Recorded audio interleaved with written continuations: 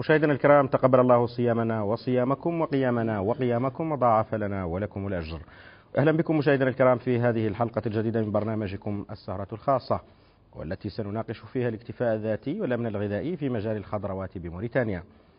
عبر تسليط الضوء على الخطة الخمسية لاستراتيجية تطوير زراعة الخضروات انطلاقا من تحديد احتياجات السوق الوطنية وترقية الخضروات المحلية فضلا عن دعم الإنتاج والابتكار. وتعد الخضروات مشاهدينا الكرام إحدى الأولويات في مجال تحسين الوضعية الغذائية للسكان لما يمكن أن توفر من دخل نقدي وخلق لفرص العمل وتعزيز للأنشطة الاقتصادية والاجتماعية المدرة للدخل. يسعدنا مشاهدينا الكرام أن نستضيف لكم كل من السادة السيد محمد ولا أحمد بنان مستشار وزير الزراعة. شكرا لكم على قبول الدعوة. وكذلك السيد باب أحمد نقرة مدير إدارة تنمية الشعاب الزراعية بوزارة الزراعة. شكرا لكم على قبول الدعوة. وأيضا سيد المهابة والبلال المندوب الجهوي لوزارة الزراعة بولاية نقشوط الجنوبية. شكرا لكم. شكرا لكم جميعا. مشاهدينا الكرام قبل الدخول في النقاش نتابع التقرير التمهيدي التالي عن الموضوع. يعتمد الكثير من المواطنين في وجباته اليومية على الخضروات بجميع أصنافها مما جعل الإقبال على أسواقها يزداد يوما بعد يوم. النهوض بالمنتوج الزراعي بصفة عامة وإنتاج الخضروات بصفة خاصة. يبقى السبيل الوحيد لتحقيق الاكتفاء الذاتي من المحاصيل الزراعية وتوفير الأمن الغذائي للسكان وإنعاش السوق المحلي وهو ما سيساهم في دعم الاقتصاد الوطني. إن الطلب المتزايد على الخضروات في بلادنا يحتم إعادة النظر في واقع الزراعة لوضع استراتيجية كفيلة بتحقيق الهدف الأسمى في مجال الاكتفاء الذاتي. هدف يدرك بالتخطيط الجيد والاستخدام الأمثل لعناصر الإنتاج والتي تمتلك البلاد فيها ميزة كبرى. مقدرات كبيرة تسعى السلطات المعنية إلى استثمارها في مجال الخضروات عبر إنتاج سياسات ومشاريع معينة. هذه السياسات تهدف إلى زيادة المساحات المروية من جهة، والمساعدة على تحسين تسويق إنتاج الخضروات من جهة أخرى. فما هي ملامح هذه الاستراتيجية؟ وما أبرز العوائق أمام زراعة الخضروات الناجحة في بلادنا؟ وكيف السبيل إلى تحقيق الاكتفاء الذاتي في مجال الخضروات؟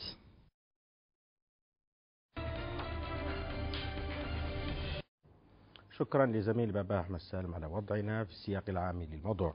بداية سيد المستشار حدثنا عن الاستراتيجية العامة لتطوير زراعة الخضروات بالبلاد. بسم الله الرحمن الرحيم. شكرا على الاستضافة وإتاحة الفرصة. فعلا الوزارة وضعت خطة خماسية للنهوض بهذه الخضروات وإنتاج الخضروات على المستوى الوطني. نظرا لعدة عوامل ومن بينها ضعف الإنتاج الوطني المحلي ووضعيته الإنتاجية الضعيفة وانعدام المهنية وعدم مخصصات اللي كانت مخصصة له. وهذه الخطة الخمسية الهدف منها هو النهوض بهذا القطاع اللي هو اللي كان يمارس أساسا من قبل غير مهنيين. هواة هواة وعلى أكثر الحالات على كل حال في, في الغالب العام, الغالب العام للمساحات مستغلين من هواة تعاونيات نسوية إنتاج أسري إلى ما غير ذلك. والقليل القليل من المساحات هو اللي عند منتجين زراعيين غير متخصصين وغير مؤطرين والإنتاجية فيه ضعيفة. وهذا فعلتم في هذا الصدد على مستوى الوزارة؟ من خلال أول شيء أول شيء وضع الخطة الخمسية 2001 2025 للنهوض بقطاع الخضروات بصفة عامة في البلد.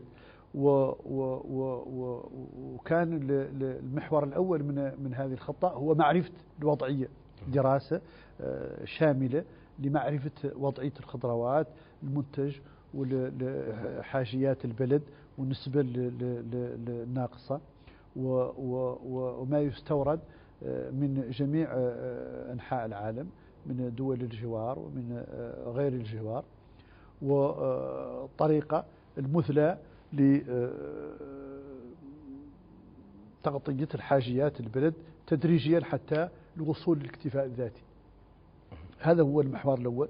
المحور الثاني كان هو لوضع خطة للنهوض بأساليب الإنتاج لدى, لدى المنتجين المحليين ومحاولة إدماج رأس المال الوطني في الحلقة الإنتاجية المحلية من حيث زيادة المساحات وتوفير البنى التحتية وتوفير التأطير الفني ودعم الولوج إلى المدخلات المحسنة كل هذا مثلا بدأ فعلا هل شرعتم في تجسيد هذه الاستراتيجية؟ طبعا هذا هذا بدأ من عند الوهلة الأولى.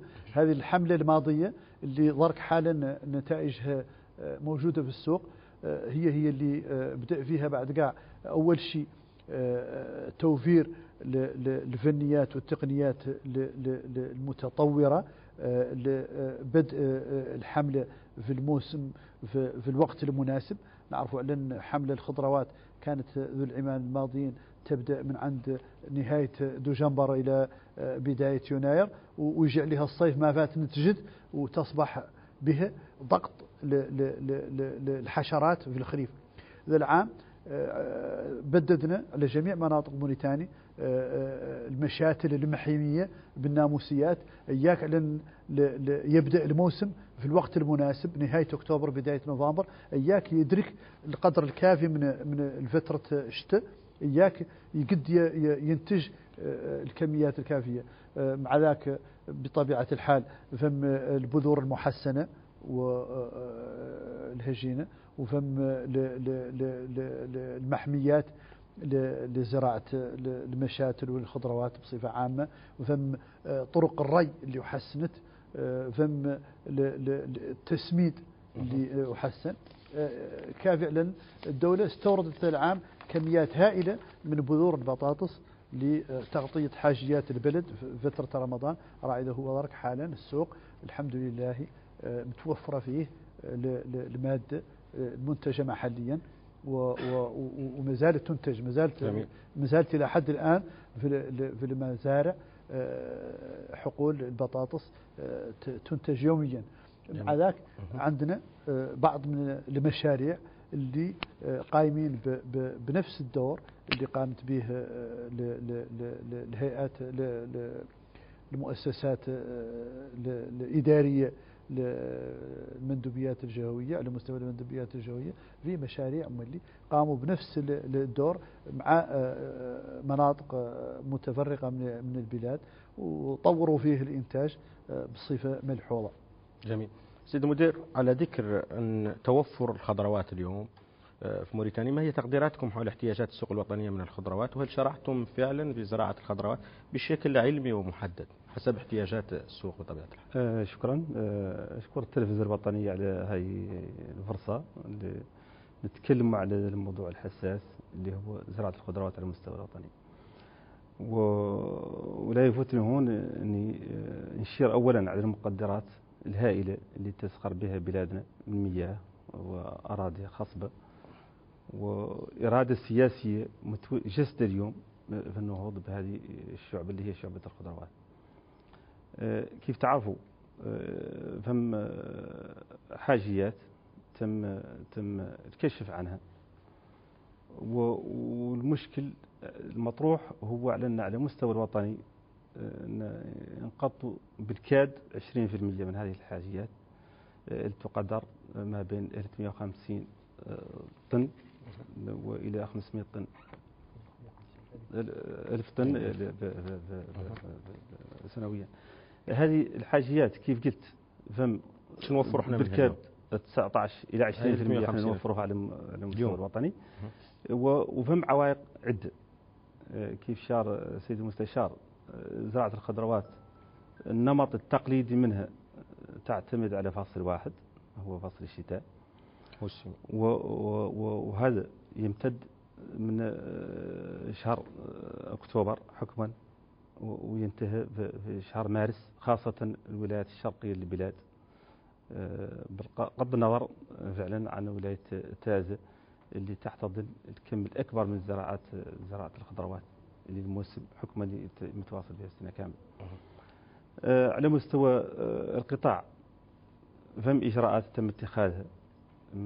من أجل سد الثغرة آه، المهمة.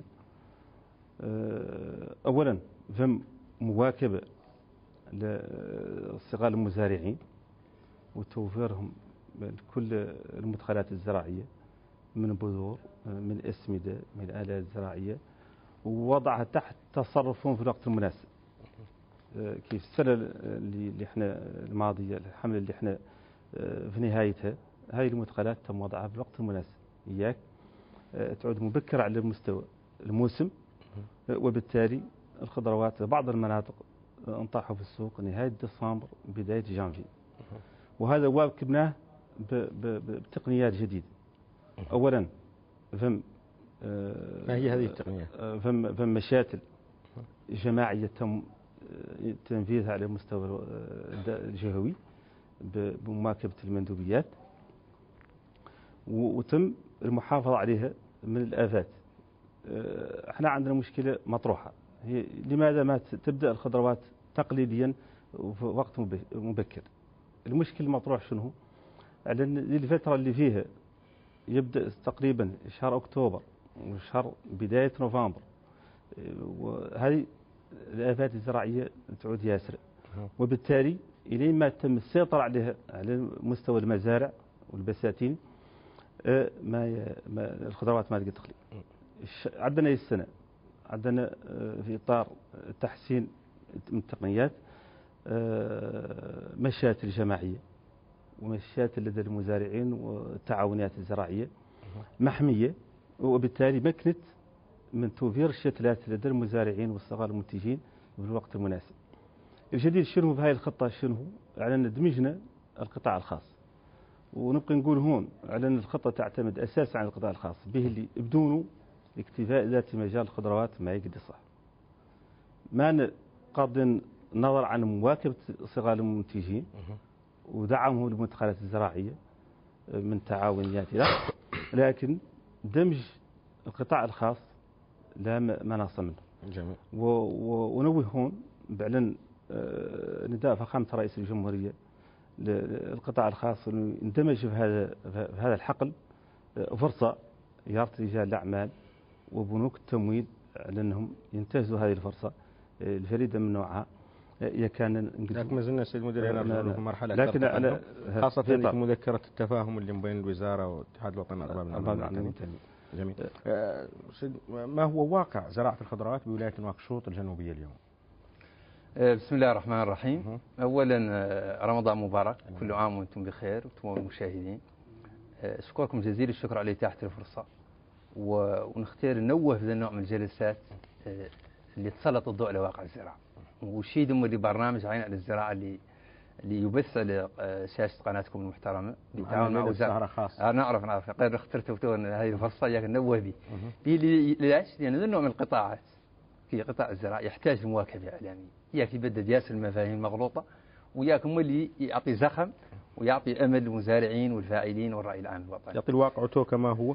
يعطي الواقع لا يسلط عليه لأن هي بيئة خصصه للمغالطات الزراعة. يعني لذلك طيب عودة أصل موضوع الحلقة هي الخضروات كيف قلتوا في مقدمتكم الخضروات قطعا عنصر مهم ولا تلاقي مرتبط لا بالزراعة اجتماعي وتجاري الناس تشتغل فيه حد من البطالة وفضلا طبعا عن دوره في الغذاء ودوره في هذا والأسر الموريتانية اليوم قليلة أسرعات ما تستخدم الخضروات.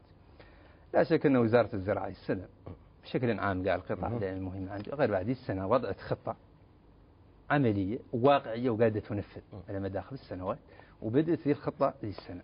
في قال السيد المدير والسيد المستشار بدوا بخطط عملية واقعية تمشي من واقعنا إحنا إحنا مولي ما نقول تنطلق من الواقع. لأن بدايه تعدى المشاكل الجماعية في البداية وإرشاد المزارعين وتفقدهم إلى غير ذلك. في جميع عموم الوطن. بالنسبة لصال نواكشوط هو نختار تعطيني فرصة شوي دقيقة ولا ذاك نذكر باللي قالوا نواكشوط تتميز بمقدرات زراعية لا يستهان بها وقاعده تساعد في الجهد الوطني في مجال الزراعة. شنو هذيك المقدرات؟ ذي مياس المقدرات غادي نذكر منها المناخ. المناخ نواكشوط على غرار المناطق الساحلية الوطنية بشكل عام يتميز بأنه مناخ معتدل. يساعد أعلى لإنتاج معظم أصناف الخضروات على مدار العام. طبعا الجار المثمرة والجار الزينة نحن نعرف موضوعنا الخضروات. هذه هذه المقدرة وزارة الزراعة تختار تستغلها.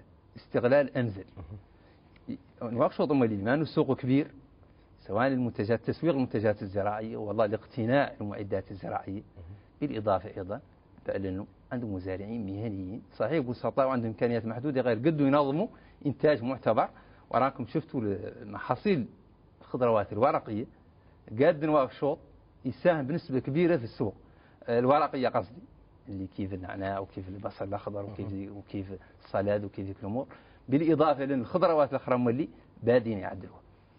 بالنسبة لمندوبيات نواكشوط مندوبية نواكشوط الجنوبية اللي يمثلها أنا بعد ذلك واكمنا من البداية نحاول نكتشفوا جميع أماكن الإنتاج ونوقفوا مع المزارعين ونتفقدهم القادين يساهموا في آه، كي قلت في ذا الجهد الوطني وفي المسا... آه، اللي هامل وزارة عدل باللي نعتبر المزارع الحقيقي والمنتج هو كي ينقال عملة صعب هو أهم شيء في العملية كامل. لذلك السبب وبناء على ذلك قدمت الوزارة العام من كي قال السيد المدير المدخلات الزراعية وفرتهم في أكتوبر يعني بداية هذا. واكبنا المزارعين كاملين اللي قادين يساهموا في ذي في المعركة التنموية. يجبروا المدخلات الزراعية في الوقت المناسب.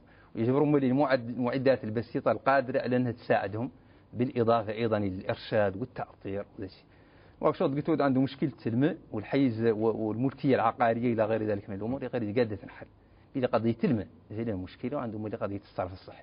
يقير باتباع أساليب جديدة كيف التريب التنقيط وترشيد المياه المستخدمة قاعدين نتغلبوا على ذيك القضية.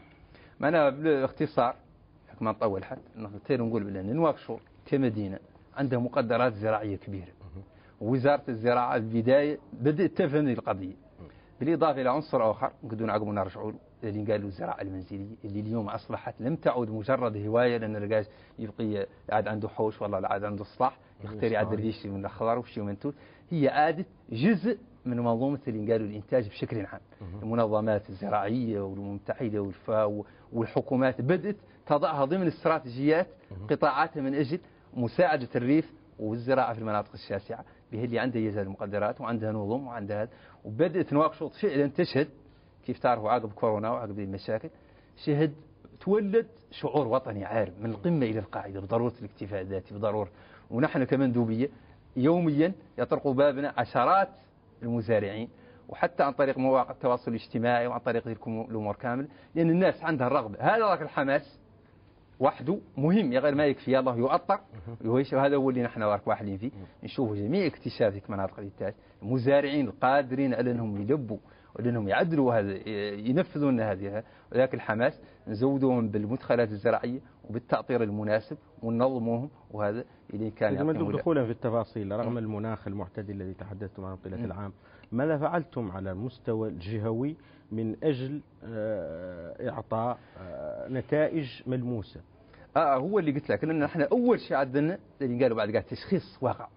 الزراعات كثيرة الناس ياسرهم من الزراعة يقير بحاجة حد ينظمها ويديرها في إطار معين في إطار هذا دورنا إحنا وبادئين فيه وبادئين بالإضافة إلى تنفيذ سياسة القطاع في ولاية معينة. هذا هو دور المندوبيات كيف تعرف؟ تنفيذ سياسة القطاع وبرامج المدخله بالإضافة إلى نجيبوا لهم صورة واضحة عنها. ثم اللي الرأي العام واضح له مقصود فيه ياسر من الزراعات سواء كان زراعة منزلية ولا زراعة في المدن ولا زراعة بالنسبة لنواكشوط الجنوبي عندنا اللي قالوا بيكا دي ست اللي هو الكيلومتر 17 على طريق نواكشوط روسو عنده مؤهلات كثيرة عشرات الهكتارات فهم ويوميا عشرات المواطنين والتعاونيات والمشاريع يدوروا يستغلوا فيه. ومن هون نختار ننبه ولا نختار نلقي نداء للناس كامل قاعدة تستثمر غير بطريقة شوية علمية طريقة طريقة تقنية. كي مثلا تدخل اللي قالوا الري في التنقيط وتدخل مثلا الزراعة المحمية. إحنا عندنا مزارعين عشرات المزارعين غير قد مازالت عندهم آه إمكانيات متواضعة. ومع ذلك قاعدين يناظموا رؤوسهم وينتجوا يوميا حتى أنا واقف كان فهم إحصائيات عن المزارعين اليوم على مستوى نواكشوط آه طبعا طبعا. بالنسبة لنواكشوط كامل مندوبيات السلاله والله ولايات السلاله فهم تقريبا قريب من 2000 إلى 3000 يا مزارع يا مرتبط بالزراعة بشكل أو بآخر. بالنسبة لنا إحنا في نواكشوط الجنوبية فهم قريب من 250 مزارع مباشر يعدل الزراعة. وفهم قريب من 1000 مرتبط معاه بشكل أو بآخر. يا وسيطي هذا. وهذا المزارعين إحنا كي قلت بادئين نظمهم.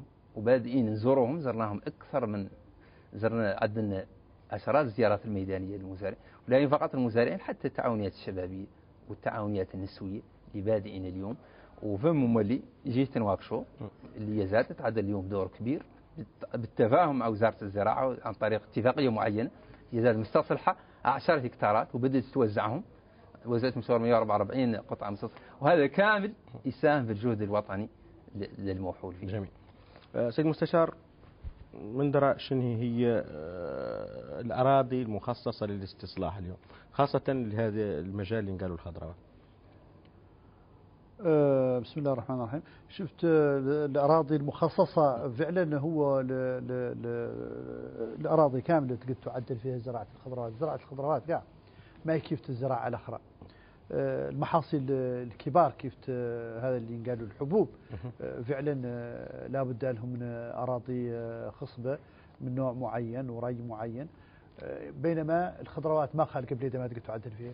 واليوم في العالم الخضروات قاعد يعدلوا من دون أرض في أورسول يا غير بعد في موريتانيا اليوم التوجه هو على الخضروات يعدلوا في الأراضي الغير طينية آه، بحتة.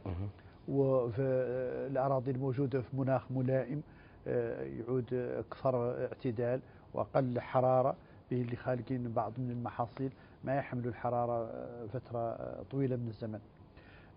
على مستوى وزارة الزراعة ارتأت في مناطق قابلة للاستصلاح وعدلت فيها بعض من الدراسات. آه، أولا فم هذه المنطقة النهر ومناطق الداخلية آه، بصدد أنها آه، تعدل فيها استصلاحات لصالح 100 مزارع صغير ويعدلوا فيهم مزرعات صغيرة من من إكتار إلى إكتارين ويعدلوا فيهم جميع تقنيات الري الحديثة والمحميات اللي يقولوا له ليسير.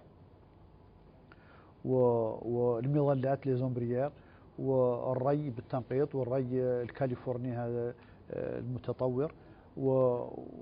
وهذا اللي يمكن من زيادة الإنتاجية هو اللي اللي اللي اللي مهم هو أننا نمرقوا من آه، ذاك الإنتاج المنخفض آه، اللي يدور بين 6 إلى 12 والله 15 طن للإكتار إلى ما فوق ال 50 طن للإكتار به اللي آه، الفرق بسيط لابد من تطبيق تقنيات معينة وتطبيق آه، المدخلات آه، المحسنة من الأسمدة والبذور والحماية إلى ما غير ذلك. عندنا مناطق هي هي اللي آه، تعود صالحة للخضروات في آه، مدار السنة. وعدلوا فيها دراسات واحدة آه، عندنا منطقة 1700 هكتار على على مستوى أفطوط الساحلي. ومبارك معها يعدل فيها دراسة واللي هي تحضر لأنها تدخل في هذا النداء اللي عدل فخامة رئيس الجمهورية لرأس المال الوطني لإندماج في في الإنتاجية في في المجال الزراعي. وخالق منطقة أخرى آه، تحدد فيها تقريبا قريب من 7000 إلى 8000 هكتار في حال تصحح اللي تعود منها على الأقل 5000 هكتار صالحة لزراعة الخضروات والقمح آه، في في في, بلدية آه، بلط اذا لأن هذو المناطق اللي هم اللي هي يعودوا قابلين للتوسعة. عندنا منطقة أخرى ضرك الاستصلاح فيها عاد في النهاية على مستوى ركيز في هذه 3500 اكتار للأرز. غير معها 500 اكتار أخرى قابلة للاستصلاح للخضروات وداخله في البرمجة. إن شاء الله اللي إياك على أنها تستصلح لصالح منتجي الخضروات إن شاء الله.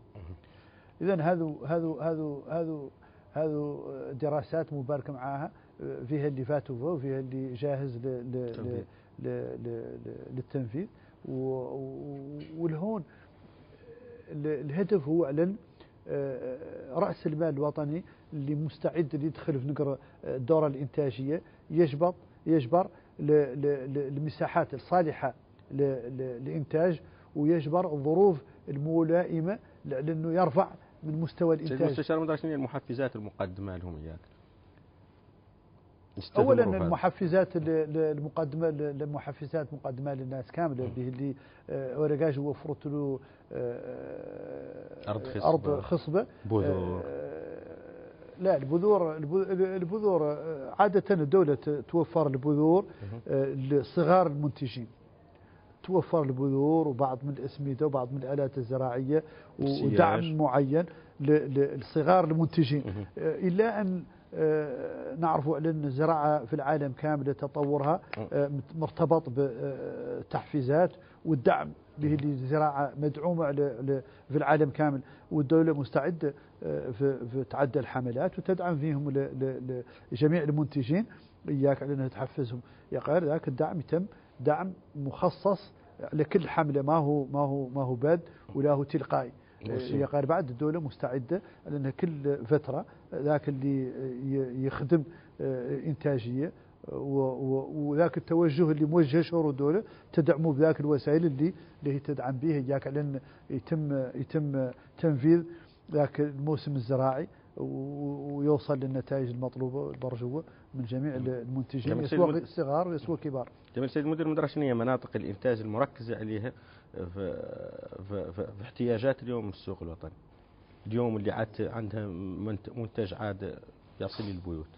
آه شكرا. آه ما يتعلق بالموضوع آه كيف قلت قبيل إحنا عندنا عدة مناطق. عندنا المناطق المروية في الضفة عندنا المناطق الواحاتية عندنا المناطق الرطبة وعندنا المناطق الشاطئية.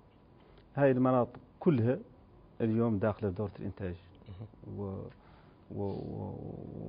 والوزارة آه، مشات طاقم إرشادي جل هذه المناطق. وهذا حكما آه، الطاقم الإرشادي غاب السنوات الأخيرة. وعنده دور مهم في, في, في تكوين المزارعين على الرزم التقنية بصفة عامة. وإحنا مركزين أساسا آه، على منطقة الدلتا ومنطقة الفارزة اللي اللي حباها الله ظروف مناخية جيدة تماما. وزراعة الخضروات تمتد فيها طيلة السنة. آه، هذا يقودني هنا على أن فهم مشكل وهذا يتعلق عنه بسؤال طرحته على السيد المستشار. وهو أن فهم غياب شبه تام للميكنة الزراعية به للتوسع في المساحات خاصة في المناطق الضفة. وتهيئة الأرضية الملائمة لازم الميكنة الزراعية آه، تجدون الإشارة هون على أن زراعة الخضروات تقام أساسا آه، حقول ذي بيريمتر مؤهلين أصلا لزراعة الأرز أرض طينية وهذا ما ما ما هو قابل لزراعة الخضروات به زراعة الخضروات لازم تعود أرض رملية خفيفة. وبالتالي المساحات المهيئة لها ما هي موجودة أصلا. المزارعين كثر كثير من المزارعين اليوم يزرعوا في مساحات أصلا مخصصه مهيئة لزراعة الأرز. هاي مشكلة. معناها نفهم جهد يلا يندار في قضية الميكنة الزراعية التمكين كافة المزارعين من استصلاح مساحاتهم وياك يمشوا في الموسم بشكل بشكل سريع. هذا من جهة. فهمت كيف قلت المناطق الواحديه زراعه خضروات تقام المناطق الواحديه نجاوز السيد المدير. شنو شنو هي الآليات اللي قابلين من أجل تصحيح هذه الوضعية اللي فات وقعهم فيه؟ الآن كان فم مناطق محاذية لهم تصلح اللي يقدروا يتحولوا لها مثلا؟ والله شنو الآليات اللي عند الوزارة من أجل خطة الوزارة على على تشجيع ودمج القطاع الخاص به اللي كيف تعرفوا؟ الدولة ما تزرع. تقلق الظروف المواتية للزراعة. من تحفيزات ومن مواكبة فهم دمج القطاع الخاص في وفهم التوجه باقتناء الآليات ولا الآليات الزراعية المخصصة لهذا. وفهم قطعا بداية التجاوب معها. شناه في زراعة الأرز به الحاصلات بدأت تجي. وفهم مستثمرين بدأوا يجيبوا لي تراكتور اللي هم الجرارات ومعاهم الوسائل كاملة من أجل السيطرة على المعضل اللي بالنسبة لنا عائق كبير ولازم السيطرة عليه. به اللي بدون ميكنة زراعية فهم عزوف كبير للمزارعين عن زراعة بشكل عام سواء زراعة مطرية سواء زراعة به اللي فهم مجهود عضلي. اليوم مادة هامة تتوجه لتكثيف الزراعة خاصة زراعة الخضروات لازم مواكبة بالميكنة الزراعية. به اليوم البذر إحنا يعد الابريد والمزارع تاجر. شيء ما عنده مردوديه ما ما ما ما هو ما هو لا يستوعب. اولا أنت اليوم إحنا عندنا برنامج كبير في زراعة البطاطس السنة الماضية دمجناه ودخلوا فيه اسم رجال الأعمال ونتائجه كانت مشجعة تماما. اليوم يقضي السوق وهذه مبادرة جيدة مواكبه مواكبة القطاع.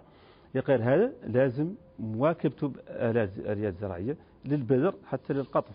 به اللي إذا كان يعدل يدويا وهذا لين تخلص المستوى. المردودية لا يصبح بدون آليات وتقنيات جديدة يصبح المزارع في خسارة ربما لكن المجهود اللي مواكبته الوزارة هو على أنها تشجع القطاع الخاص فعلا أنه يدخل بقوة في إطار الميكنة الزراعية ويدخل بقوة في زراعة الخضروات. به اللي كيف قلت قبيل كانت تعتمد على النمط التقليدي من صغار المزارعين الوزارة قطعا مواكبتهم يقول لازم جهد كبير من لدن القطاع الخاص من أجل على أنه يدخل في هذا المجال وبالتالي تعود المردودية أكبر. فهم قطعا إدخال بذور هجينة وهذا وفهم تقنية اليسار اللي هم تقنية جديدة اللي تساعد خاصة المزارعين في المناطق الحارة وهذا لا يمكن من تكثيف على المستوى المناطق خاصة مناطق الضفة وبالتالي نقدوا في القريب العاجل نتوصلوا لاكتفاء ذاتي. نبقي من خضروات مع أنها طينية منطقة طينية. لا لا. إحنا أنا قلت لك على إدخال الميكنه الزراعيه هذه ظروف كاملة ولا نقول دوارك على ما نعيش حتى على زراعة الخضروات. بين اللي إحنا بزراعة الأرز من السبعينيات نكاد بالكاد درك نعود نحقق فيها اكتفاء ذاتي الدولة ضخت فيها إمكانيات هائلة واستراتيجيات متعددة والحمد لله إحنا اليوم نقارب الاكتفاء الذاتي معناها ان ما يتعلق بزراعة الخضروات شايف على إن ما نعيش عليها حتى به فهم خطة خماسية فهم نقاط عدة وبالتالي تتركز أساسا على الميكانه الزراعية هي الأولى تدخل ودخول القطاع الخاص استجلاب تقنيات جديدة من تكثيف ومواكبة الإرشادية. كيف قلت قبيل أعلن الوزارة ذا العام رست 65 مرشد زراعي ضختهم لمناطق الإنتاج. يصل منها على المستوى المروي يسوى على المستوى الواحاتي والمناطق الرطبة. وهذا ساهم بشكل كبير اليوم في الإنتاج والتكثير من المردودية به للمناطق الإنتاج في الداخل حسب التقارير اللي وصلتنا أعلن ما جاء ياسر من السوق الماكشوط به اللي السوق الماكشوط المركزية هون السوق تزود المناطق الداخلية. وإحنا لين نسيطروا على المناطق الداخلية الاستيراد لا يخف ما يتعلق بتزويد الماكشوط ضغط على الماكشوط ضغط على الماكشوط جميل. أه سيد مندوب من شنو هي الوسائل اللي تساعدوا بها المزارعين الصغار بولايه انواكشوط الجنوبية؟ آه بالنسبة للوسائل اللي نساعدوا بها المزارعين. ما فيها من إرشاد وغيره؟ آه طبعا كي قلت نحن نفس سياسة القطاع في الولاية. أو البداية كي قال السيد المدير الوزارة ذا العام أعطت من البداية وفرت في البداية اللي قالوا المدخلات الزراعية. كي البذور أساسا لأن المزارع لين يجبر البذور في فترة معينة فترة مبكرة يقد يعدل عليها برنامج بالإضافة طبعا للأدوات الزراعية المختلفة اللي تساعد في فلاحة الأرض وفي تهيئة الأمور كاملة بالإضافة إلى كي قلت الزيارات الميدانية والإرشاد والتشجيع.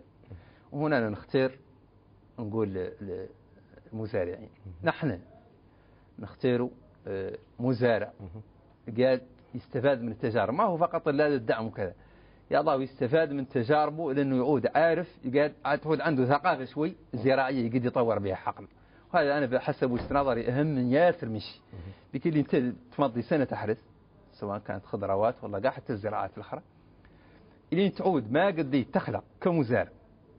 ماشي ذي العملية. ما قد تخلق نوع من الثقافة الزراعية. لأنك تعرف على آفة مثلا معينة والله تعرف على النبات في مرحلة معينة والله ذي المنطقة ما هي قبال والله ذي المنطقة. هذا نوع من الثقافات المتراكمة. واللي يخلق مزارع مهني مثقف قادر على تطوير إنتاجه. وهذا مولي من المسائل اللي نحن نحاوله. مسائل أن نبثوا اللي قالوا الثقافة الزراعية في المزارعين. شنو الطريقة اللي تعدلوها بها؟ الإرشاد. والتعطية. نوعية الإرشاد شنو؟ نوعية الإرشاد نحن كيف قال السيد المدير الوزارة العام وفرت 60 مرشد. بعثت 60 مرشد متطور على المستوى الوطني ونحن في المقصود الجنوبية عندنا مرشدين الحمد لله عندهم يعدلوا الزيارات وفهم ملي خطة عملية كيف الاستمارات وكيف الأسئلة وكيف ياكي ياكي قدو. درك ما يفصحوا كاع على التربة اللي موجودة فيها الزراعة وكذا لا لا هو هي التراب التربة في المقصود. تربة رملية أكثر هي رملية ومناسبة جدا. ما متجاوزة إذا ما يحتاج متجاوزة ما مثلا ما هي بعد من أولوياتنا ضرك يعني بعد قاعدين نرسخ اللي قالوا ثقافة الزراعة. ونسكنوا مثلا قارب المزارعين على ما هو اليوم واحد يحرث والصبح في نقطة ساخنة يبيع. إلى غير ذلك من الاضطرابات اللي اللي, اللي تشوش على أي برنامج حكومي معين. إحنا ذاك ندور خلق آه، مجتمع زراعي فلاحي من المزارعين قادر على تنفيذ الخطة وقادر لأنه استيعاب الأمور التقنية الأمور لأنه التراب والسماد العضوي والسماد يعود عنده ثقافة كيف. هذا هو اللي نحن نسعى له بالإضافة طبعا الناس على كل حال المزارعين ما هو واحد. خارج المزارعين؟ صغار المزارعين عنده زراعات محدودة وخارج مولي شنو المستثمرين؟ الخصوصيين اللي عاد عندهم ثقافة معينة وعاد مولي عندهم إمكانيات أكثر. ذوك مولي نحن نحاول نشجعوهم ونصنفوا كل كل حد كل مجموعة من المزارعين نصنفوها في بلد. آه خالق نقطة. درست التصنيفات اللي عندكم حتى الآن شنو؟ تصنيفات ثم أربع مجموعات تقريبا. مجموعة خصوصيين هم من أنفاسهم يختاروا يمارسوا الزراعة وعندهم لا مقدرة. وفم مجموعة شبابية من النساء والشباب اللي تكتلوا. هنا نشيد بأن دور شو من شو من شو من التعاونيات الزراعية. اللي مجموعة من الشباب والله قاعد بالتحديد تعاونية قال تعاونية النجاح اللي مجموعة من الشباب في الداخل والخارج جابوا عن طريق وسائل التواصل الاجتماعي. وقرب لأنهم يستثمروا وشراوا هكتار ولا هكتارين. هكتارين غير ذلك مستغلين من هكتار. في منطقة بيكا ست هذه منطقة أحداها وبدأوا وعينوا لهم محاسب وعينوا لهم مدير وعينوا إدارة حقل المنتمين ونحن المندوبية جيناهم وساعدناهم قاعدين يساعدوا به. هذا ذلك النوع من من مبادرة وطبعا نصحناهم بأنه ما يضعوا يعجلوا إلى جبر الصبح عائق. والله ما يقولوا ما يحكموا بأن الزراعة ما هي الزراعة عملية تراكمية طويلة سواء الصقاع الزراعة في الحقول الكبيرة ولا الزراعة المنزلية ولا الزراعة في المدن. هذا النوع من من من من التفكير وهذا النوع من المسحة لين يواكبوا الصبر في قد تراكم تجارب ويواكبوا اللي للي مقدم الوزارة كامل وهي مقدمته. إحنا حاضرين لهم وذاك اللي كامل قد يجب قد قد نعطوه من الدعم ندعمون به. هذا النوع من من المزارعين هو زاد قد يعدل الفرق في في عقب آه، لتعطيني فرصة شوي خالق نقطة نختار نقولها. قضية آه، زراعة الخضروات. زراعة الخضروات السنة لا شك بدت على موريتانيا غير الرأي العام الوطني. يا الله يفهم نقطة. بل أن الزراعة منتج الزراعي أي منتج تخصصي سواء كان زراعي ولا تنمية حيوانية ولا صيد ولا حتى معادن. إذا يمشي من الحقل. قايس السوق. هو عاد بضاعة تجارية تنطبق عليه أمور السوق. قوانين ونظم السوق. أنا لأنه رغم الحيز الزراعة. أنا قد ننتج حقل معين من تماتة ولا من كاروت ولا من الحبوب مختلف أنواعها إلين يوفى من البذر إلى الحصاد ونواكبه ونعطره وننقله شور السوق. هون بدت مرحلة أخرى. صحيح الزراعة يا الله تم الله السبع يا غير هون بدت مرحلة السوق. هون دائما يخلقوا مضاربات فلأنهم يخلق آه، هون بحاجة نحن لنظم تسويقية سواء كانت بما أن بلد مترامي الأطراف مساحته أكثر من مليون كيلومتر مربع وصحاري وذا الشيء. من الأفضل أن كل منطقة ولاية ولا بلدية كبيرة تخلق عندها نظام تسويقي قادر على أنه كي مثلا وقت وفرة الخضروات. تشوف مثلا أحيانا طلب للتخزين وغيره ياسر طلب التخزين ولا هذيك مراحل هي قاعد مسألة فهم ياسر معوقات إحنا عندنا ياسر من التحديات. غير بعد البداية. المهم البداية الإرادة ووضوح الخطة. وهذا النوع من هذا باطن النقطة اخترت تنشير عليه اللي دائما الرقاج يقول لك إحنا اليوم تماتة في السوق ب 500 ولا ب 400 ونحن وتعود مثلا هي عندها وفرة هذا ذاك نوع من الخلل يداول له بالنظام نظام تسويقي بالإضافة بالتعاون بين وزارة الزراعة وزارة التجارة والقطاع الكامل المجالس كل ما نضخ أكثر مجالس البلدية. كل ما نضخ أكثر هي قاعدة تعود تعود تخضع للي قال له اللي قال له قوانين السوق. يخلق يأسر المضاربات أحيانا ويأسر مش رغم ليبرالية السوق. رغم ليبرالية السوق والاتفاقيات وذا كان والله. جميل سيد مستشار لهنا ندخل وارك في مذكرة التفاهم اللي وقعته مؤخرا أنتم في الوزارة مع الاتحاد الوطني لأرباب العمل الموريتاني كيف سيتم خلق تعاضد بين الوزارة والقطاع الخاص؟ الهادف حسب المذكرة اللي اطلعنا عليها. إلى توحيد الجهود والإمكانات سبيلا لتخفيف العجز الملاحظ في إنتاج الخضروات أه والله أه عند انطلاقة الحملة الزراعية السنة الماضية في 5 يوليو في ولاية الترارزة أكد فخامة رئيس الجمهورية على ضرورة إدماج رأس المال الوطني رجال الأعمال في العملية الإنتاجية. وخلقوا فيه بعض من المبادرات الخصوصية. حقيقة وحكما كانت ذات إضافة نوعية في الحملة الزراعية اللي اللي خلقت. وبالتزامن مع ذلك عدلت اتحاد أرباب العمل باسم بعض من رجال الأعمال مذكرة تفاهم مع وزارة المالية ووزارة الزراعة بصدد استغلال 3000 هكتار. من الخضروات وتوفير وإنشاء قدرة تخزينية بسعة 15 ألف طن من التبريد على مستوى نواكشوط وهذه الاتفاقية ما زالت سارية المفعول إلا أنها المراحل اللي فات قطعت عادية. المرحلة الأولى هي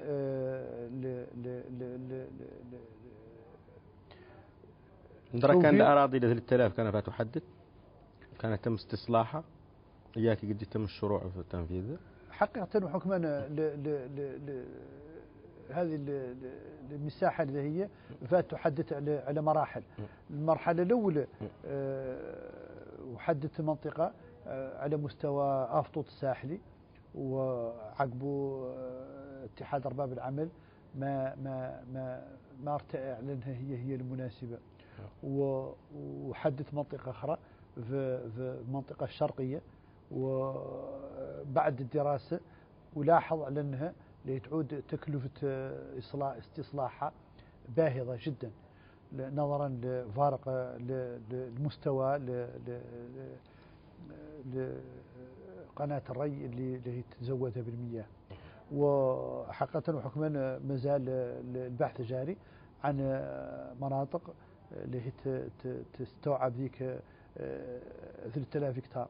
هو في هذا الإطار هو اللي قلت لكم أعلنا ارتئينا لأن خالقة منطقة في نقرة لمقاطع بلدية مبلل. في حال توصل صلحت. على فيها على الأقل 5000 إلى 6000 هكتار صالحة لزراعة الخضروات والقمح وربما تعود هي هي الأنسب. لهذه الاتفاقية لتطبيق بنود هذه الاتفاقية. بينما في الجانب الشق الآخر اللي هو توفير قدرة للتخزين ب 15 ألف طن تبريد وحدت المنطقة عند الكيلومتر 17 وحدت وعدلها اللي قال له البورناج 19 هكتارات واستلموها رجال الأعمال. و ما زالت ما فات ما فات تقدمت عدلوا الدراسات وشفنا الدراسات وشفنا بعض من من من رجال الأعمال اللي عدل فات قاعد ماكت نموذجية لمخازن التبريد اللي هي اللي لها عدلوا. إلا أن المشروع ما فات تقدم كثيرا. و شخصيا أرى على على لازم يبدأ المشروع بخطوة يسوى هي شن هي إياك على أنه يتواصل. ما دام على هذا المستوى اللي تم لا في حذر وفيه تقاعس. أرى على على على الإنتاج ضروري وما يلا رجال الأعمال يعودوا متخوشين من مردودية الإنتاج الزراعي به اللي في هذه الظروف اللي هي شفنا على فترة معينة واحدة من دول الجوار فاتت أعلنت على أنها تقفل عن تصدير موادها الزراعية شور جميع المناطق أوروبا وإفريقيا ونظرا للظروف العالمية اليوم بما فيها الحرب الدائرة في شرق أوروبا. ونظرا للتجربة اللي قبلنا من فترة جائحة كورونا ونقص والتقلص الكبير في المواد الغذائية في العالم وندرة البذور ندرة الأسمدة اللي شهدنا فيهم أزمة عام الأول كبيرة هذا كامل يشجعنا على أن ما تلين نتخوشوا من إنتاج يسوى هو شنو هو قد ينتج على المستوى المحلي به اللي السوق مستوعبه واللي منه إجبار فائض لا مجال لأن يعودوا دول أخرى. تصدر موادها الزراعية وإحنا ما نقدر نصدر موادنا الزراعية الطلب اللي يتم متزايد في العالم وإحنا وحدنا هم اللي قادرين على أن نعدلوا اكتفاء ذاتي ونصدروا موادنا شغل الخارج هذا نداء موجه لرجال الأعمال ورأس المال الوطني. إياك ما يتخوشوا من أنهم إلى أن ينتجوا شيء على أنه لا يخسر أبدا. ما فيه أي خسارة. كل ما زاد الإنتاج كل ما انفتحوا آفاق للتصدير ومتوفرة به اللي دول جنوبنا يصدروا شمالنا شور أوروبا وحنا قرب لها ودول شمالنا يصدروا شور إفريقيا وحنا قرب لها. إذا لا مجال على أن ما نعودوا إحنا ننتجوا ونصدروا شور هاو اللي قرب لنا بطريقة أمثل بطريقة أسهل وبمردودية أكثر. جميل. سيد المدير ماذا عن مقدرات البلاد في مجال إنتاج الخضروات واستغلالها؟ ضمن طبعا بنود مذكرة التفاهم اللي كان يتحدث عنها المستشار. أنا في اجتهادي على أن على هاي مذكرة التفاهم مذكرة جيدة تماما. نظرا على أنها لا هي تضمن من جهة لرجال الأعمال مواكبة من من الدولة وتوفير كل متطلباتهم في إطار دفتر التزامات تعود واضح المعالم. ذي الخطة كيف شار لها السيد المستشار؟ يارت تعود مبنية على أمور واضحة المعالم. شنو هي؟ ذاك دفتر الالتزامات اللي اللي فيه بنود واضحة. كيف قلنا حالا قضية التبريد. به الخضروات اللي ما تجبر مخازن. مكان مخازن الحفظ حفظها طيلة فترة فترة الصيف. ما هي تعود عندها أي نتيجة. كيف تعرفوا إحنا؟ إحنا ننتجوا فصل واحد كيف قلت قبيل والكميات الخضروات تتراكم. يسوى الصقاع على مستوى الواكشوط ويسوى على مستوى الداخل. وبالتالي فم تدني كبير لثمنها. هذا معروف. إلين تعود فم بنى تحتية كفيلة بإعلانها لا تحفظ ذاك الفائض اللي ما هو مستهلك ذروة الإنتاج. هذا غالبا شيء مهم تماما. ويالت رجال الأعمال لا يشرفوا التزاماتهم في اتجاه البند اللي خاص بالمنطقة اللي تم اختيارها بكاديست واللي ظاهر بأنها إلين يتم إنجازها لا يتعود نقطة مهمة في مجال تطور هذه الشعبة. ثم ثم نقطة ثانية هي هي اللي نبغى نشر لها هي قضية الكيف. إحنا إحنا منتجين ومزارعين ما يفرقوا بين منتوج ذا جودة. المهم إن ذاك لا ينتج كامل لا يديروا في زقيبة ولا يديروا في كيس ويديروا في السوق. لا هو فم يارتو يكرب له ويتريه بصفة عامة. فم غربلة اللي منتوج عندك لا تحصل عليه يارتك تقرب له. هذا عنده ثمن وذاك عنده ثمن محلي وذاك يقد يعود صدر دون ذاك دون ذلك معناها على هذه النقطة بالذات هي هي اللي يالت المزارع يطرح لها البال وهي مؤثر الفرق بين اللي يستجلب من الخارج ومنتوج نحن المحلي. ما نطرح بال الكيف كيفية وضعية منتوجنا ولا تحسينات رياضة تطرأ عليه بشكل على أنه يصبح منتوج يقد ينباع بالطريقة اللي ويصبح منتوج يقد ينافس. فيما يتعلق بالسؤال من جهة أخرى البنود كاملة ظاهر لبن رجال الأعمال لا مناص مع أنهم يدخلوا في هذا الحقل ويارتهم ينتهزوا الفرصة من من مواكبة الدولة لهم ومسارتها في هذا المجال. وذاك التفاهم التفاهم بين إحنا بين القطاع ورجال الأعمال آه، انبوب على قدر من النقاط. اللي ضامنه لهم هم آه، قطعا مواكبة وفي نفس الوقت آه، لا هي يصبحوا وهذا قطعا مجال مجال ثراء به للمقدرات اللي عندنا. إن استغلت مصدر ثراء للمزارعين ورجال الأعمال على المستوى الوطني. به اللي لا يعود فيه امتصاص من ناحية اليد العاملة فيه اكتفاء ذاتي. وفي نفس الوقت اللي دولتنا مؤهلة بأن أنها تصدر لباقي دول العالم نظرا ما توفر عليه آه، من وسائل وقربها من أوروبا والمناطق آه، كاملة الإفريقية الدول المحاذية. جميل. سيد مندوب مدرش هي التحفيزات المقدمة لأصحاب المبادرات الشخصية التعاونيات في مجال دعم الإنتاج الزراعي. بالنسبة لأصحاب مبادرات دائما يركزوا على حسب باطل اللي يجينا دائما قضية التراب قضية الأرض. القطاع الأرضي.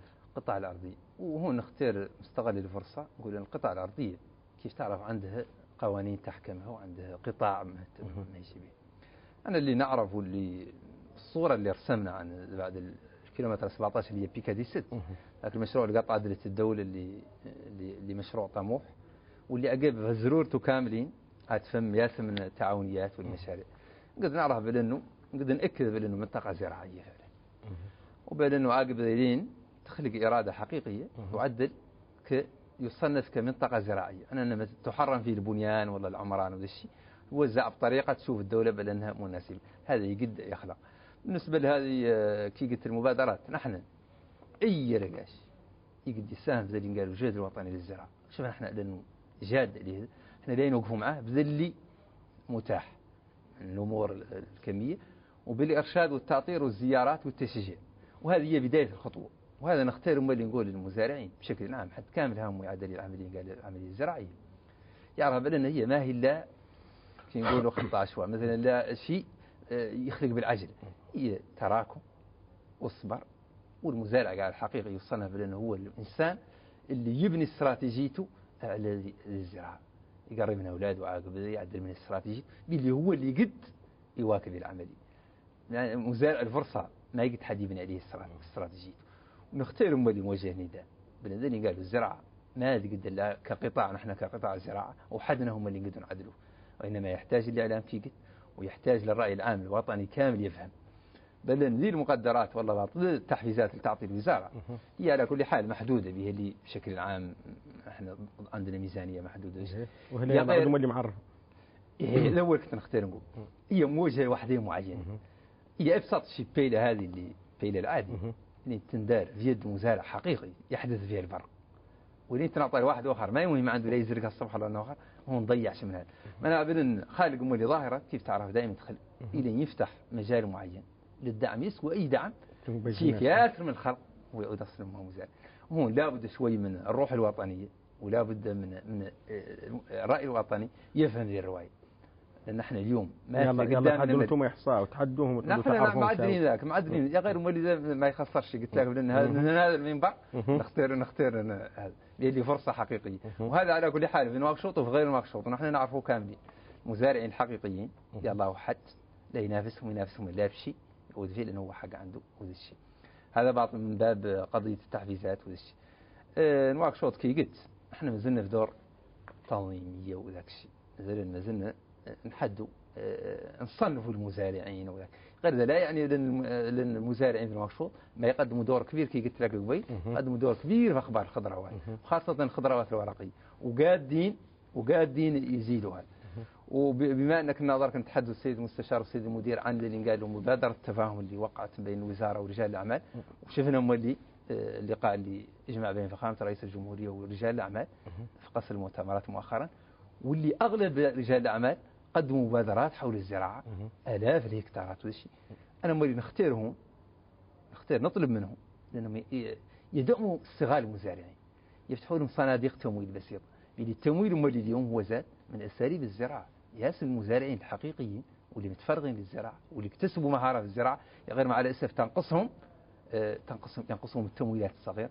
تمويلات مولي بسيطه وقلت على شكل قروض ميسرة وقلت هذا باطل. جانبي لا قد يصح إنه آه، رجال أعمالنا يفكروا فيه. هذا يدور مولي وزاد يحدث فرق. درك هذا ما يلا تعدل الدولة. هذه الدولة تعدل بطريقة أو بأخرى. عندها صناديق غير مولي نحن لا تنسى لأن موريتانيا بلد مترامي الأطراف نعم وقطاع الزراعة يعني بالخضروات ويعني بالزراعة المطرية بأنواعها ويعني بالواحات ويعني بزراعة الأرز هم يعني هم اللي يقدموا يعني هم اللي يقدموا قروض المفروض إنهم يدوروا منها الربح الدولة تعود ما تدور منها ربح الدولة لا رأس المال يرجع لأنها ما لا, لا هذه خطتها على كل حال الدولة عندها سياسة في المجال. هذا قاع قصدي أنا كرجاج مهتم بهذا المجال. نختارهم نختارهم يفكروا في الرواية. اللي فعلا فعلا الدور تحدث تحدث الفرق جميل. سيد المستشار من هي المعلومات المتوفرة. حتى الآن حول توفير خدمتي المياه والكهرباء لمواقع الإنتاج. أه، بسم الله الرحمن الرحيم. شوف هذا اللي الماء أه، قاع ضروري به اللي الدولة دورها هي توفير المياه لجميع المناطق الزراعية والسهر على انسيابية المياه في المجاري كاملة ولمواكبة المزارعين في جميع المواسم. للحيل دون انقطاع توفير المياه في جميع المناطق الزراعية على جميع الروافد وشق الآبار والآبار الارتوازية في, في, في مناطق الواحات ومناطق المطرية وتشييد السدود آه، لتوفير المياه في, في, في, في جميع المناطق. والقنوات اللي شقت الدولة في نقر آه، متباركة معاهم في جميع المناطق اللي قادت يوصلهم الم... هذا هو دور الدولة. وفي الوقت الراهن آه، فيه مشروع آه، كبير ضخم لكهرباء المناطق الإنتاجية على طول الضفة. وهذا المشروع اللي هو حقا وحكما اللي يمكن من جميع المزارعين توصلهم الكهرباء. أولا آه، وصول الكهرباء يعني الحضارة. الحضارة بانواعها الاستقرار أيضا مطلوب في الزراعة. آه، لتوفير توفير الكهرباء في المناطق الإنتاجية. آه، المسألة الأولى اللي يحد بعد قاع وينقص من التكاليف بعد قاع الإنتاج به اللي زراعة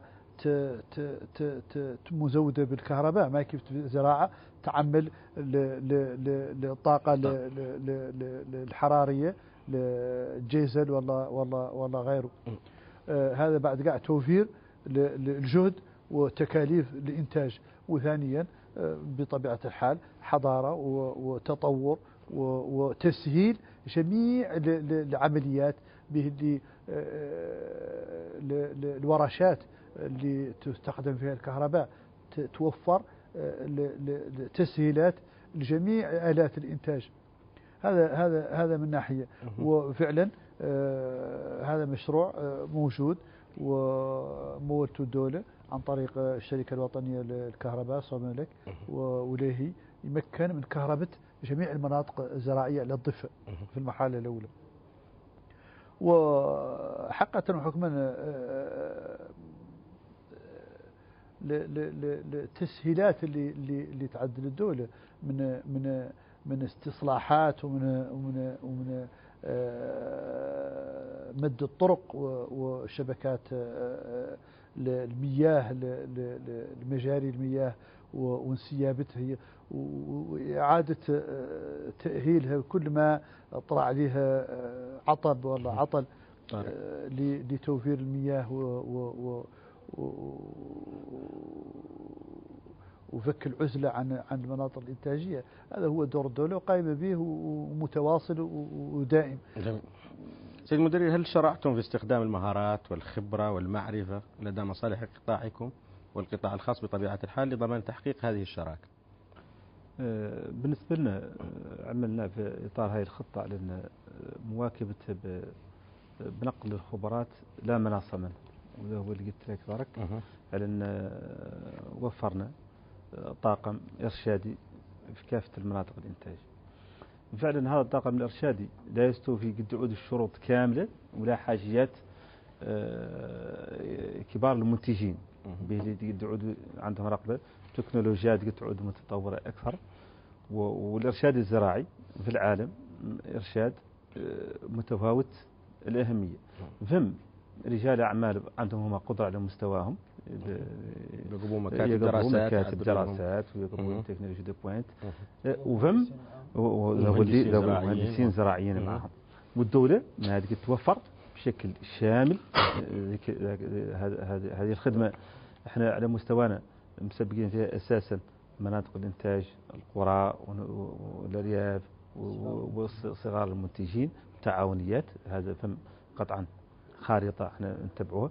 وفي نفس الوقت مواكبة للمزارعين الكبار بما يتعلق بكل التقنيات والنصائح حتى على المستوى المركزي والمستوى الجهوي أيضا في ذاك اللي عندهم فيه نقص من مجال البذور بين اللي نوجه لهم دائما نصائح ما يتعلق بالبذور الهجينة اللي تم إدخالها خاصة في السنوات الأخيرة واللي عندها مردودية كبيرة. وهذا قطعا في مجال اللي ينقالوا لا سعر ولا المضللات اللي تم إدخالها السنة الماضية والدولة آه، دخلت منها قرابة 150 آه، تم توزيع ثلث على المزارعين وفي نفس الوقت اللي إحنا في قيد المعاكسة الحالية التوفير آه، الباقي به اللي يلا يدخل بدورة الإنتاج الحالية اللي إحنا هنا إن شاء الله نطلقوها في القريب العاجل. هذا الشيء مهم والتكنولوجيا ضرورية. به نعم. اللي به اللي المردودية عبارة عن ناش عن حزمة ولا رزمة من من من لي بارامتر ولا اللي لازم يتم تتبعها. البذور كيف البذر المبكر به اللي الفترة الزمنية عندها تلعب دور مهم في سلسلة الإنتاج. كيف تقلب على الحشائش الآفات الزراعية. وهذا كله إلين ما يسيطر عليه مسؤول عن جزء ولا جزء بسيط من المردودية.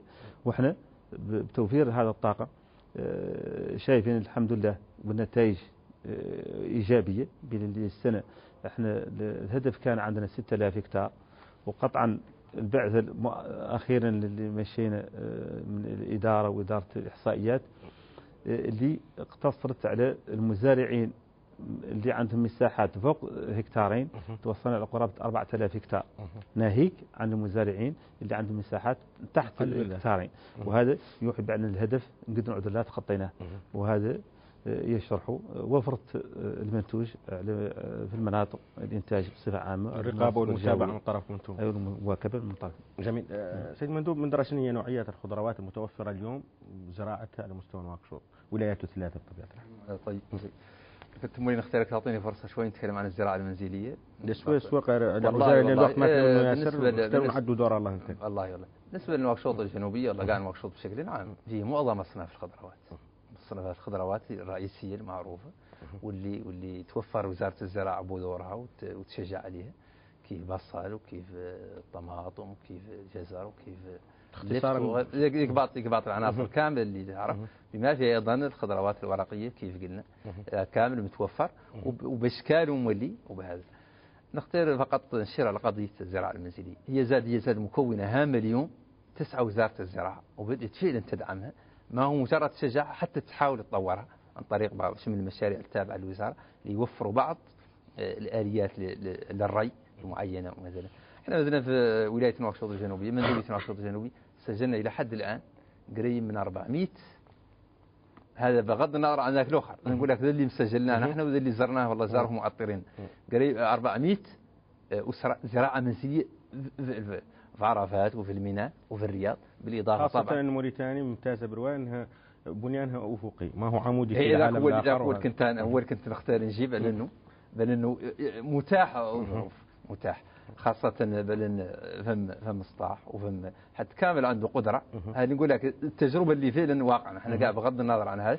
إن فم اهتمام كبير بذلك قالوا الزراعة المنزلية ونحن إلى حد هذا يعطي اكتفاء ذاتي للاسره كاع الروسها ويساعد ولين يجمع كاع ويجمع وش يعرفوا حتى يعني منه فائدة يقدم ودي لا فم ياسر من الأسواق اللي في الأحياء الشعبية وش يعود عايش ياسر من ذيك الأمور.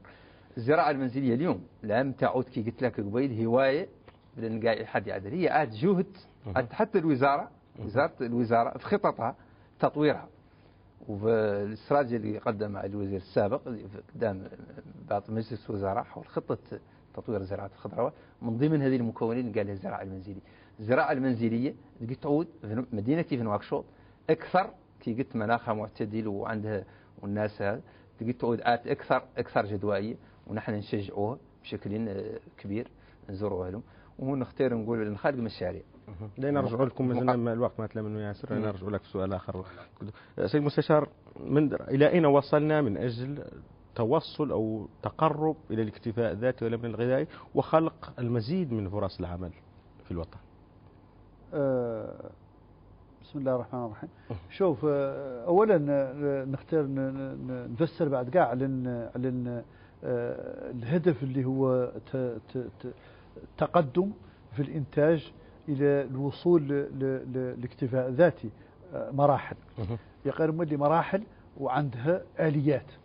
الآلية الأولى اللي تعود هذا اللي كنا شاهدين أخباره من توسع في المساحات الزراعية المخصصة للخضروات آه كيف قال قبيل المدير لأن أغلب المساحات المزروعة بالخضروات في منطقة آه الضفة هي آه أراضي زراعية غير ملائمة للخضروات. أساسا أساسا. اللي تحتاج تحتاج العمل آه، أكثر وتحتاج لتقنيات وسائل أكبر. وسائل أكبر.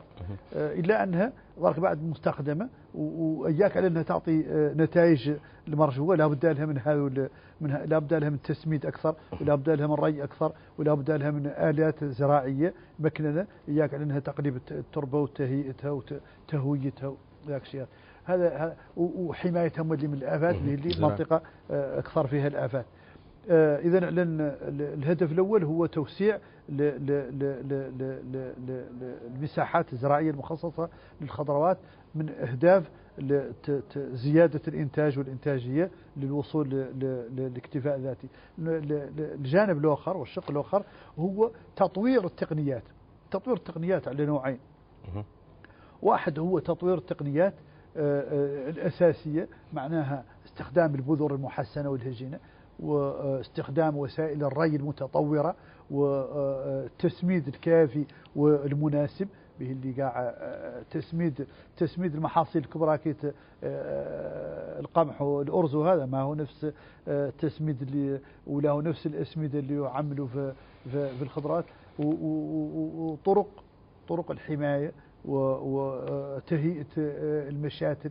إياك على النبته اللي تنتقل تعود آه، قوية وقادرة على أنها إلى أن تنتقل تعود تعطي إنتاجية أكثر. اذا هذا تطوير التقنيات أساسي هو هو اللي آه، آه، فترة تباركنا معاه في الحملة الماضية وهو هو اللي متباركين معاه. في تحضير الحملة الصيفية اللي في صدد بدايتها الأسبوع الجاي إن شاء الله. هذا هذا وسائل اللي هي مكنونة من لنا كل ما تعمقنا في, في واحدة منهم ولا الأخرى نزيدوا من من من القاعدة الإنتاجية ونزيدوا من التقرب من الولوج للاكتفاء الذاتي.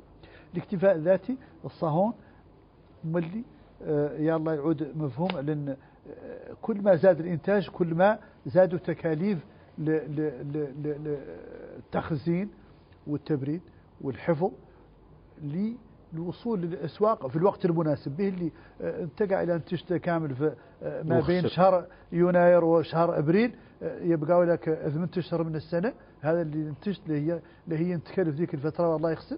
إلين ما تعود عندك وسائل تواصل فيها الإنتاج طيلة السنة.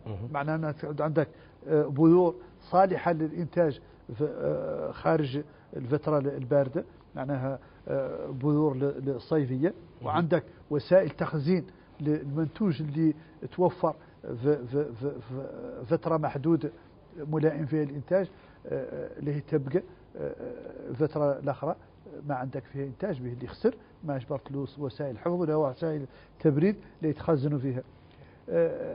المرحلة الأخرى هو لن لابد من التفكير مستقبلا في إنشاء وحدات صناعية صغيرة ووسط وكبيرة لتطوير الإنتاج ولضمان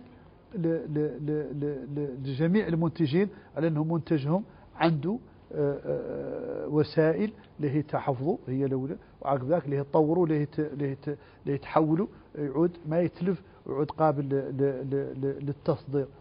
آه، هذا من ناحية. الناحية الأخرى رأس المال.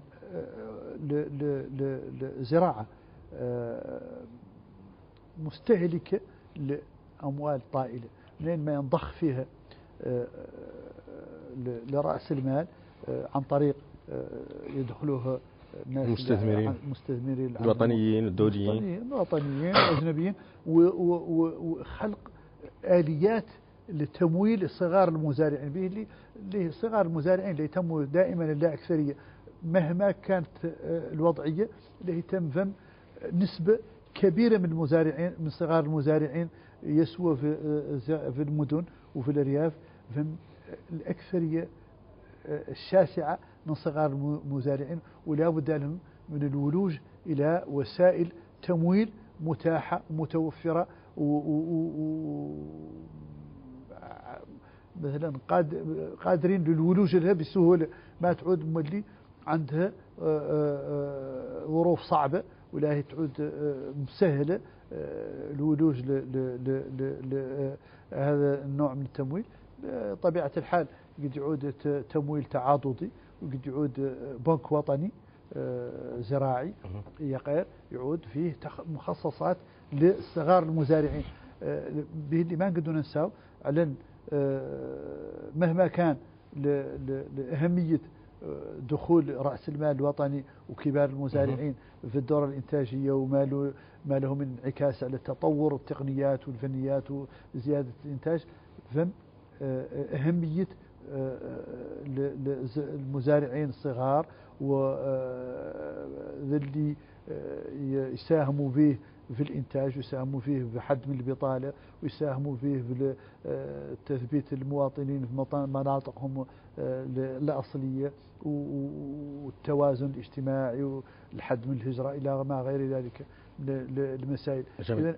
جميل جدا. انطلاقا من هذه المعلومات وهذه المؤشرات. سيد المدير هل نحن قادرون على تحقيق الاكتفاء الذاتي في مجال الخضروات وأيضا زيادة الدخل النقدي للمزارعين الصغار؟ صحيح.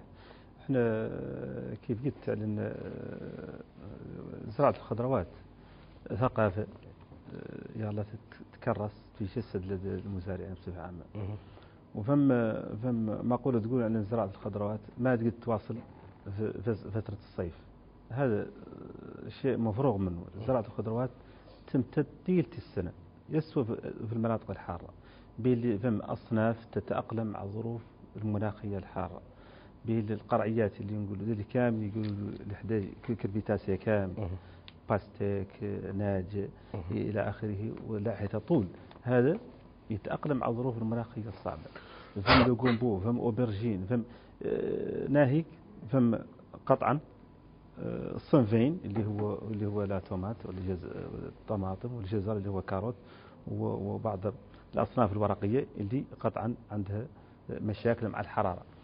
لكن منطقة الدلتا كيف قلت لكم؟ منطقة الترارزة آه، هذه منطقة.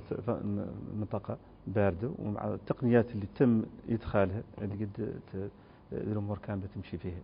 وبالتالي مع التكاتف الجهود بالموازاة مع دعم مواكبة صغار المنتجين اللي ممتدين في المناطق كلها الواحاتية والمناطق الرطبة على مستوى الضفة ودعم بالمدخلات الزراعية هذا من جهة.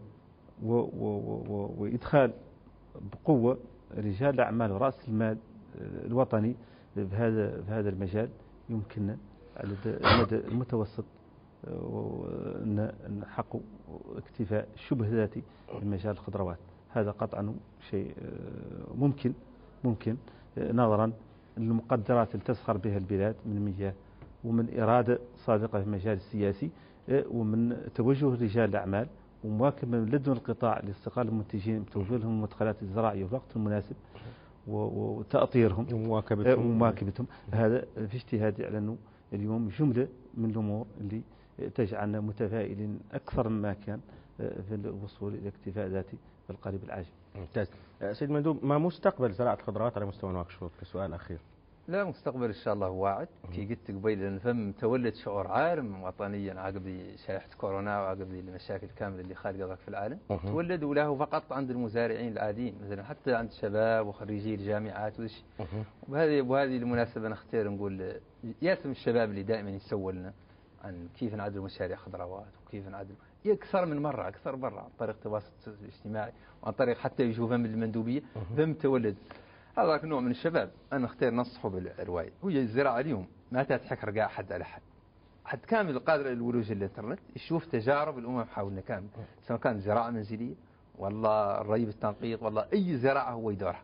يتود عنده الإرادة كي قلت ويعود عنده الحماس يا الله يتوجه الشغل الزراعة ويتوجه مولي يعود هو عنده القدرة على اكتساب المعارف بعيدا قاع حتى عن المؤطرين مرحلة معينة يجبر المؤطرين. زراعة الخضروات في المكشوط آه، لا شك أنها واعدة. ليس فقط حتى من الناحية الزراعية حتى من ناحية التوسع العمراني في المكشوط وجود الفنادق وجود المطاعم وجود كان ودخول الخضروات كمادة في حياتنا اليومية. اليوم كي قلت لك كي قلت لك قبي بل لين تقبض اليوم متوسط أسرة في موريتان. فرضا عندنا 100000 أسرة في موريتان تستخدم الخضروات فرضا 100000 سيد مندوب في كلمة. 400 عندك إحصاء فيها 400 زراعة منزلية. من كانكم أنتم من ضمنها الله بدأ ياك تعطوا مثال. أنا من ضمنها غير على الشكل بسيط جدا. إذا أنا من سيد مهابة البلال المندوب الجوي لوزارة الزراعة ولاية نفس الجنوبية. شكرا جزيلا لك. كما أشكر المشاهدين الكرام كذلك السيد محمد ولا أحمد بنان مستشار وزير الزراعة. شكرا جزيلا لكم على كل هذه المعلومات. كما أشكر أيضا آه، باب أحمد النقرة مدير إدارة تنمية الشعب الزراعية بوزارة الزراعة. شكرا جزيلا لكم سيد المدير. أشكركم أنتم مشاهدينا الكرام كما أشكر كان معي هنا في التصوير عبد الرحمن كعباش وفي الصوت تيجاني واهو وفي التنسيق الفني أحمد ميلود وعلى التنسيق بابا أحمد سالم وفي الإخراج باب أحمد كونين. هذه تحياهم جميعا نقولها لكم مشاهدينا الكرام أترككم على أمل اللقاء بكم في حلقة قادمة. دمتم في أمان الله وحفظه. والسلام عليكم.